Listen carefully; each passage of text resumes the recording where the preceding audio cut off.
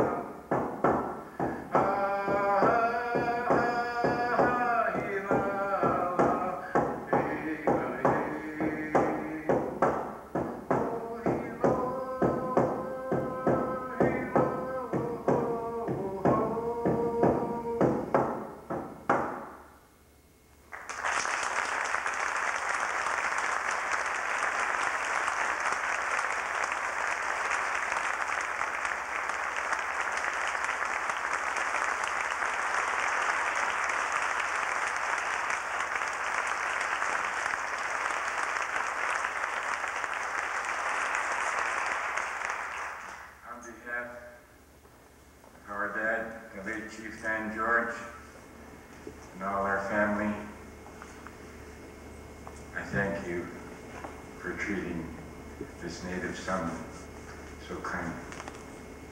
My love and appreciation to you for this. May our great spirit be with you forever.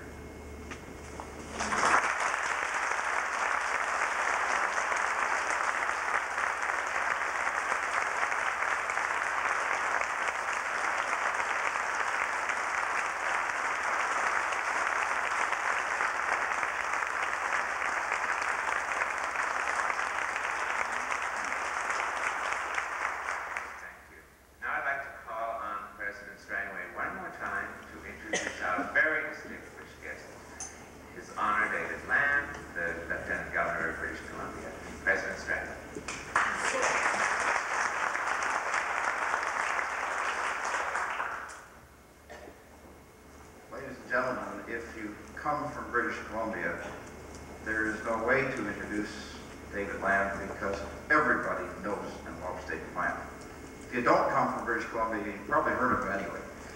Uh, he is a symbol, and much more than a symbol, a very, very hard-working symbol of uh, so many things that represent the best of Canada and the best of this province.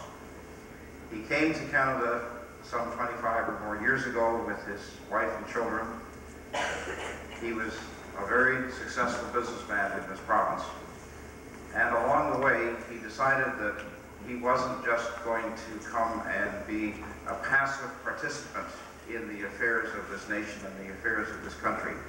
He decided he was going to give back. He's given back in so many different ways. He's being generous to many organizations, but that's not what really counts. What he's given is his love, his warmth, his feelings. He has given to so many different ways his own time and that of his family. And then when he became the lieutenant governor of this province, I don't think there was a person in British Columbia who didn't say, what a wonderful selection, what a wonderful choice, because David Lam represents the best of what this country is all about. And he is giving and he is giving. If you ever had a chance to see one of his schedules or you tried to arrange an occasion for him, uh, you find out that there are people who organize this If you look at his day and sometimes his day has eight meetings and ten meetings and sometimes he is just on and on giving to the people of this province and giving to the people of the country. David Lam really does need no introduction, and I'm not going to go through a long description of, uh, of his honor. But as a person who gives back to this society his time, his commitment in every kind of way. I can't think of a better person to be opening this conference, and particularly a conference with this particular theme. When he arrived this morning, uh, I was reminded that uh, he actually plays an official role at this university. His title is Visitor to the University of British Columbia. And uh, I reminded myself, if you go back and read the act under which the universities were created, the visitor actually has the authority to do anything he wishes, uh, as far as we are concerned. So I looked carefully at his motor car as he arrived, and I said, uh, Your Honor, as the visitor to this university, we will guarantee that you won't be towed or ticketed.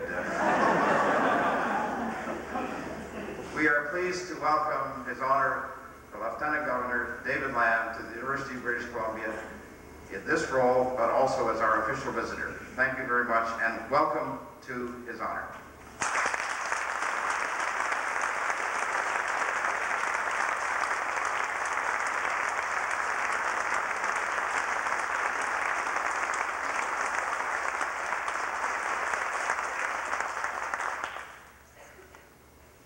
Elder Robert George, may I just quickly share with you, sir. Last year when I was giving a talk to St. George's School, I quoted Chief Dan George saying, I wish you will soar like an, e- like an eagle and reach for the top. And as I was saying that, it was in an open field.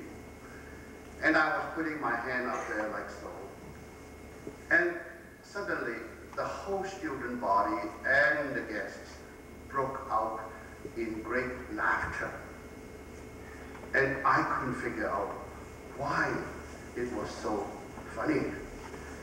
And then I realized that as I was saying that, there was an eagle actually came just above me.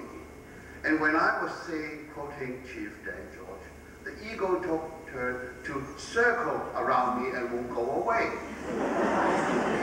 Sir, thank you. I also want to congratulate young Robert Chu for the Overture 1990. What a fantastic, beautiful, touching music. I want to also quickly say thank you to the 15th Field Regiment uh, of Canadian Artillery Band. They play at the military ball last Saturday.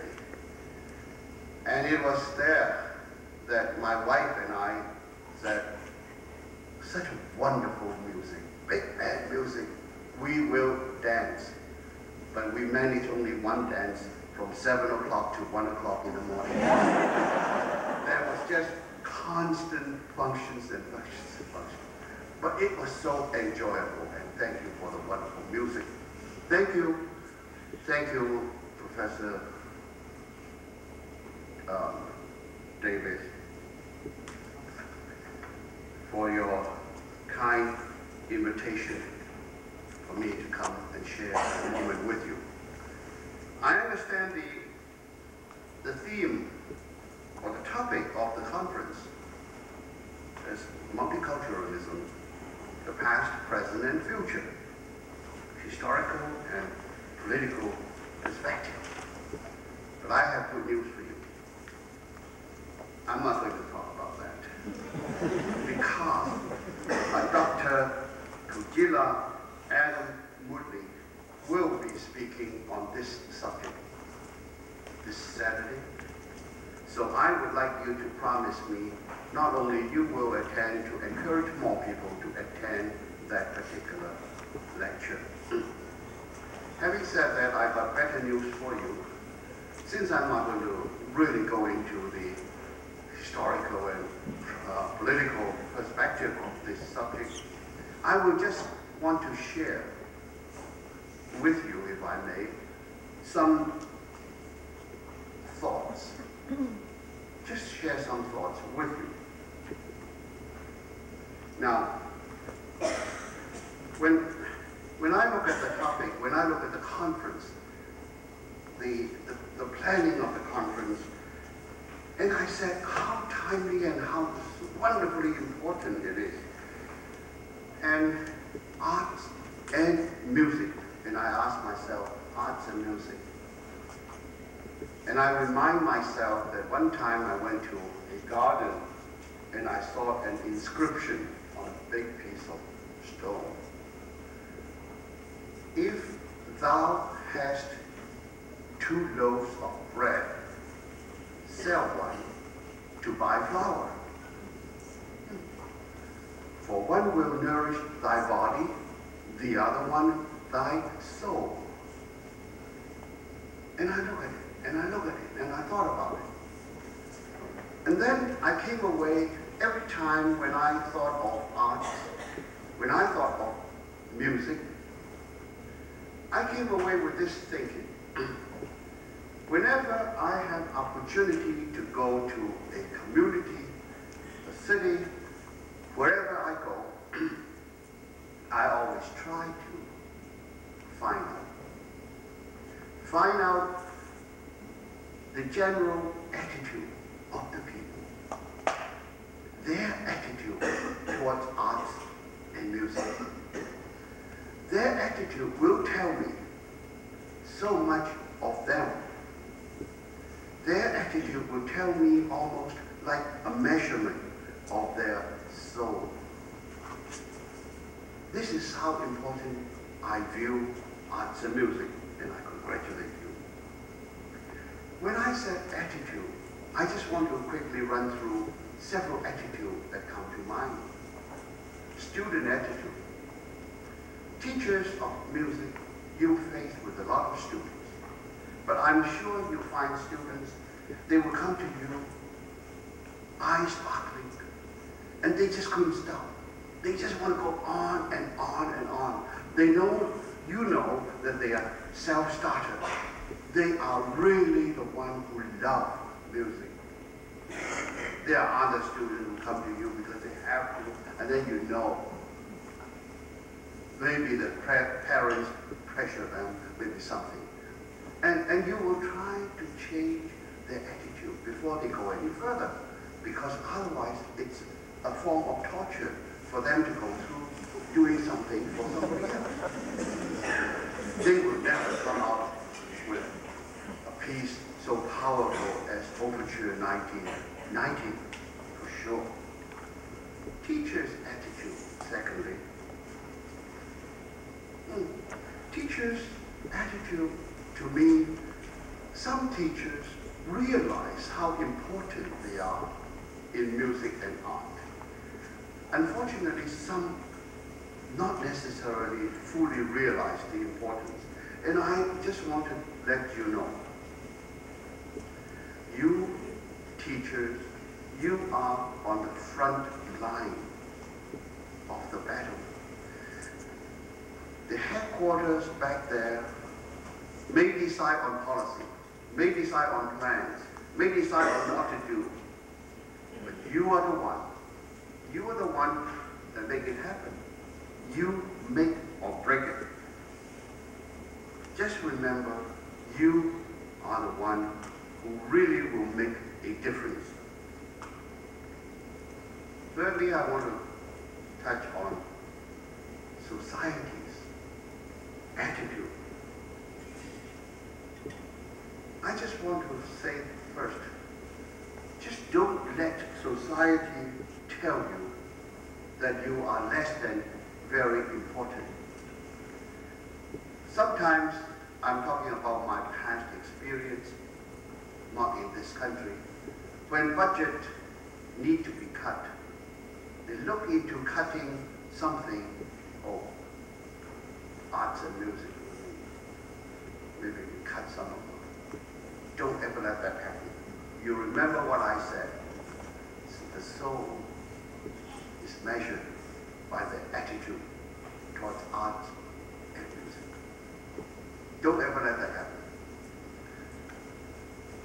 Now, your attitude, the society's attitude. Attitude is a very interesting thing because, as I said, you can make a break.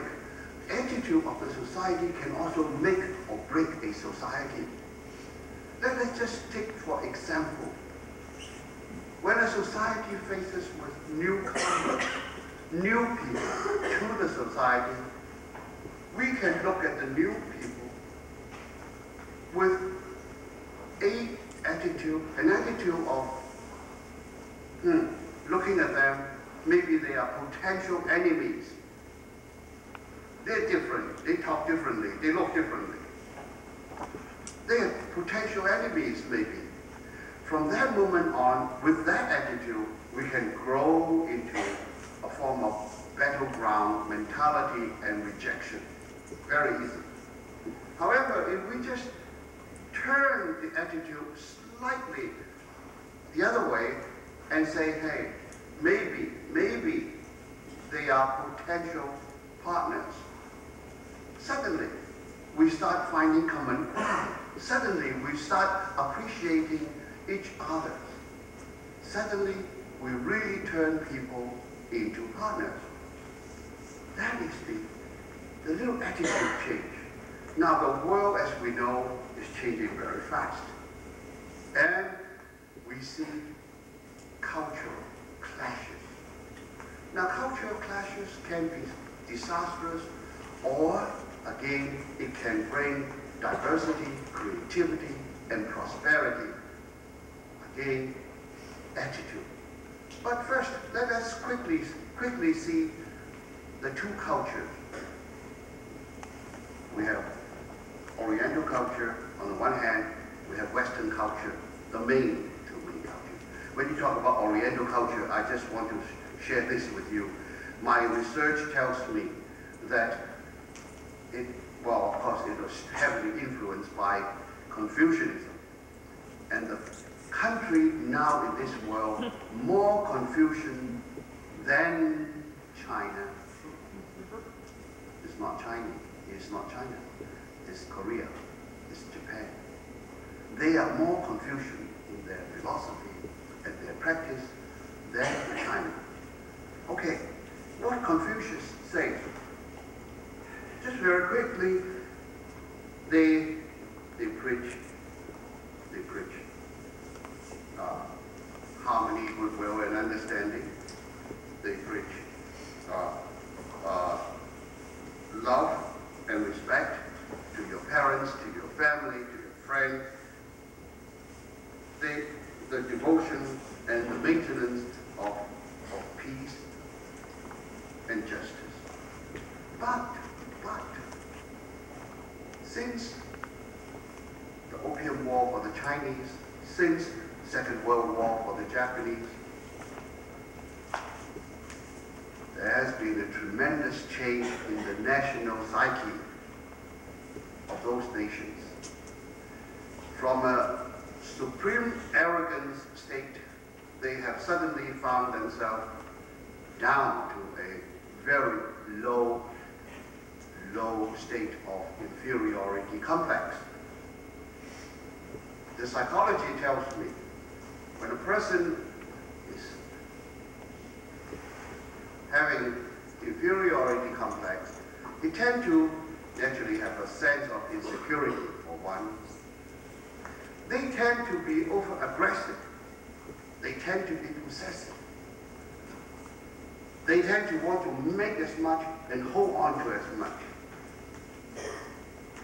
Now, this kind of possessive tendency, not only on what they are doing, but they also try to influence their own family member.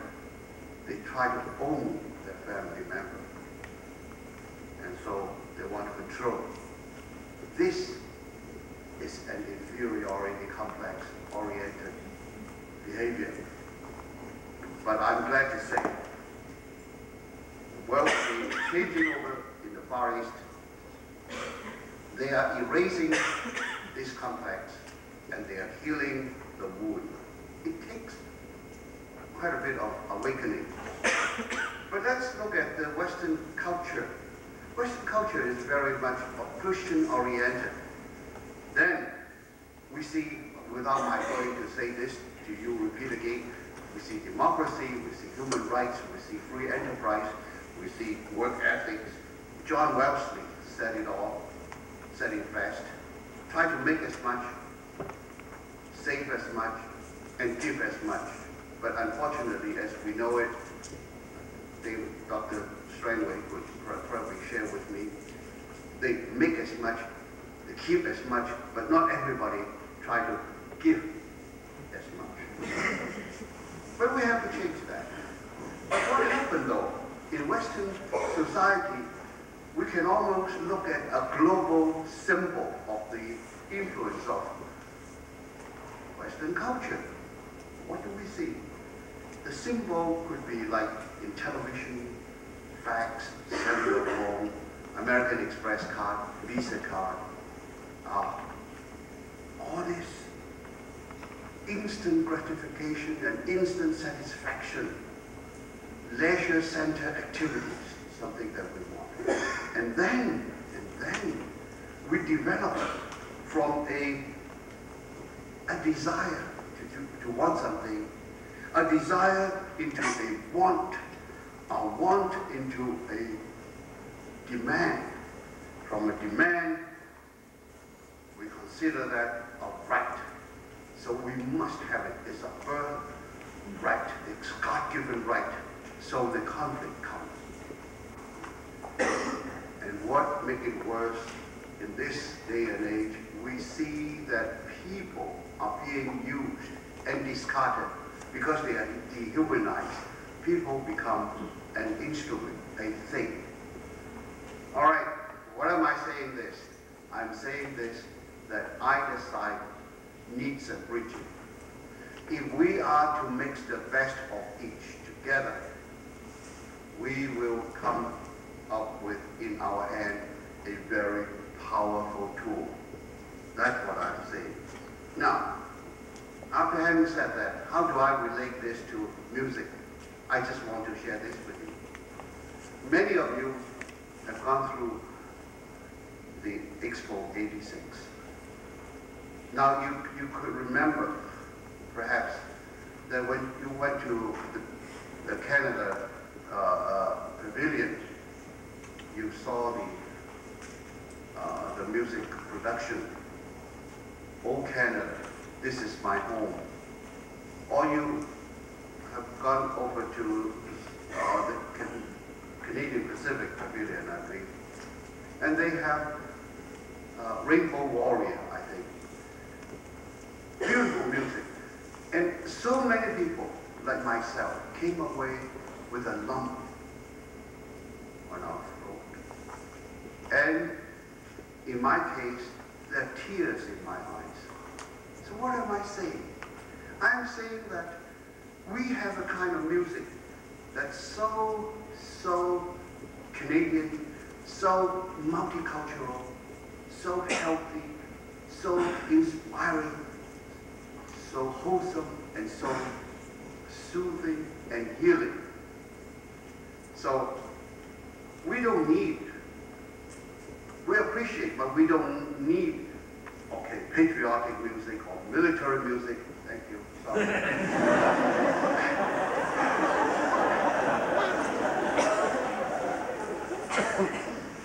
We, we do not, we are not in need of those. We need the Canadian music of the soothing, the inspiring, the healthy, the wholesome, healing kind. Like, oh Canada, this is my home type. And I can include that into Amazing Grace. I can include this is a small world after all. And I can include Mozart in it. It is the kind of music, I'm not saying, preaching that people should, okay, we learn Japanese music or we learn Chinese music, we learn Indian music, fine. We try to learn to appreciate them. But in order to learn to appreciate them, we have to study their culture. We have to understand their culture a little bit in order to understand it. But that's fine. But the important thing is,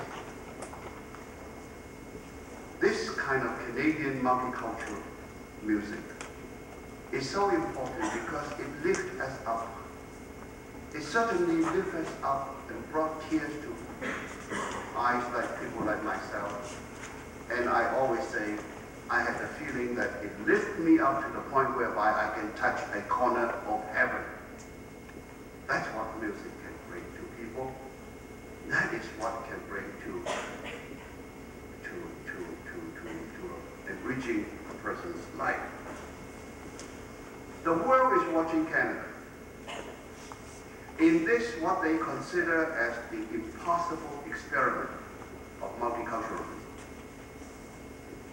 But we're going to show the world with the kind of music, with kind of soul, with kind of love and care that we manifest through very from preschool days to university to post-university to professional time, the kind of love and harmony and compassion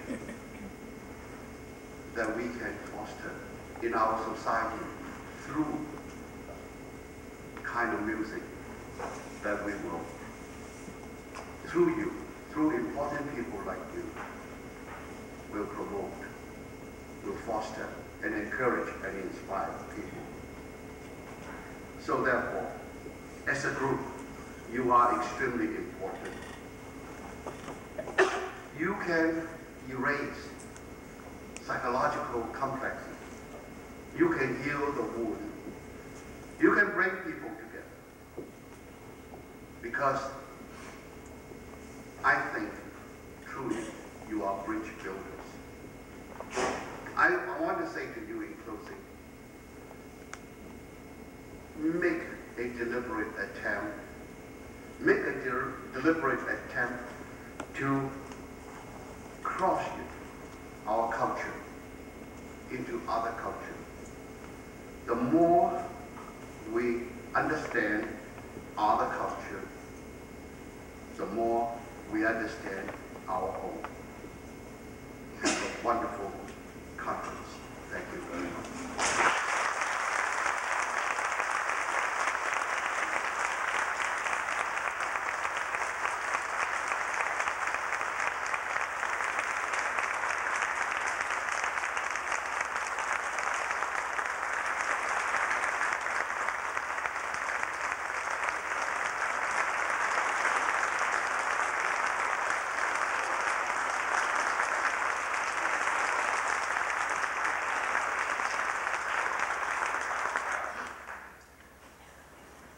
A lot of words to think about there. But while you're thinking, we're going to invite Mr. Mark Berinbaum from the UBC School of Music and his wonderful band. This is not a military piece, Your Honor. this is Mazama, the Legend of the Northwest Indians by Jay Chattaway. And I don't know, uh, Mark, do you want to say something about Mr. Berinbaum? Now, this piece uh, was commissioned in 1984 by about 20 secondary schools all up and down the coast, uh, Oregon, Washington, and in British Columbia. The commission was entered into uh, to commission Jay Chattaway to write a piece that would be uh, based on some aspect of Western, West Coast music. And the Mazama Indians were an Indian tribe that lived around Crater Mountain, Crater Volcano, uh, which then exploded and became Crater Lake. Mazama Indians after that point. Uh, the commission was entered into in 84, as I said, and one of our local schools, Magee School, whose choir will hear under John Trepp, uh, was part of that uh, original commission. This is a piece called Mazama by Jay Chattaway.